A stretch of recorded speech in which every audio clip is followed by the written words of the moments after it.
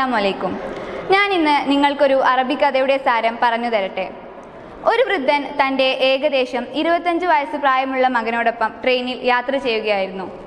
Window സീറ്റിൽ ഇരിക്കുന്ന ചെറുപ്പക്കാരന്റെ മുഖത്ത് സന്തോഷവും കൗതുകവും പ്രകടമായിരുന്നു.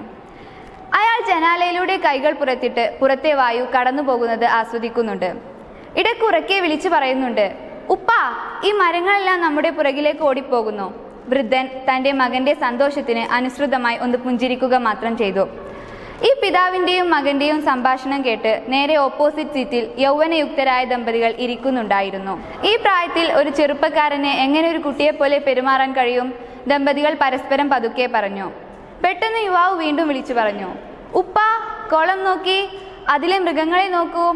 മേഘങ്ങളെ നോക്കൂ. അവ ട്രെയിനിന്റെ കൂടെ മത്സരിച്ചോടുകയാണെന്ന് തോന്നുന്നു. യുവാവിന്റെ സംസാരത്തിൽ ദമ്പതികൾക്ക് അമ്പരപ്പ് വീണ്ടും കൂടി. അപ്പോൾ പുറത്ത് നല്ല മഴ പെയ്യുന്നുണ്ടായിരുന്നു. മുഖത്ത് സന്തോഷം കൊണ്ട് നിറഞ്ഞു നിന്ന യുവാവിന്റെ കയ്യിലേക്ക് മഴത്തുള്ളികൾ വീണു. യുവാവ് വിളിച്ചു പറഞ്ഞു ഉപ്പ മഴ പെയ്യുന്നു. മഴത്തുള്ളികൾ എന്റെ കയ്യിൽ വീണു. അപ്പോഴേക്കും ദമ്പതികൾക്ക് നിയന്ത്രണം വിട്ടു. നിശബ്ദത പാലിക്കാൻ കഴിഞ്ഞില്ല. അവർ വൃദ്ധനോട് ചോദിച്ചു താങ്കൾ എന്തുകൊണ്ടാണ് ഇയാളെ ഡോക്ടറെ കാണിക്കാത്തത്? അപ്പോഴാണ് വൃദ്ധൻ ആ കഥ പറഞ്ഞത്. ഞങ്ങൾ ആശുപത്രിയിൽ നിന്ന് വരുന്ന വഴിയാണ് മക്കളെ. എന്റെ മകൻ ജന്മന അന്ധനായിരുന്നു.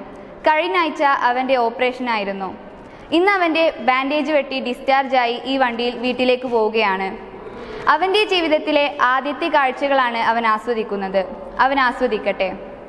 എല്ലാ വസ്തുതകളെക്കുറിച്ചും യാഥാർത്ഥ്യം അറിയുന്നതുവരെ നിഗമനങ്ങളിൽ എത്തരുത്. നാം കണ്ട കാഴ്ചയുടെയും കേട്ട കേൾവിയുടെയും അടിസ്ഥാനത്തിൽ കാര്യങ്ങളെ തീരുമാനിക്കരുത്. Thank Thank you.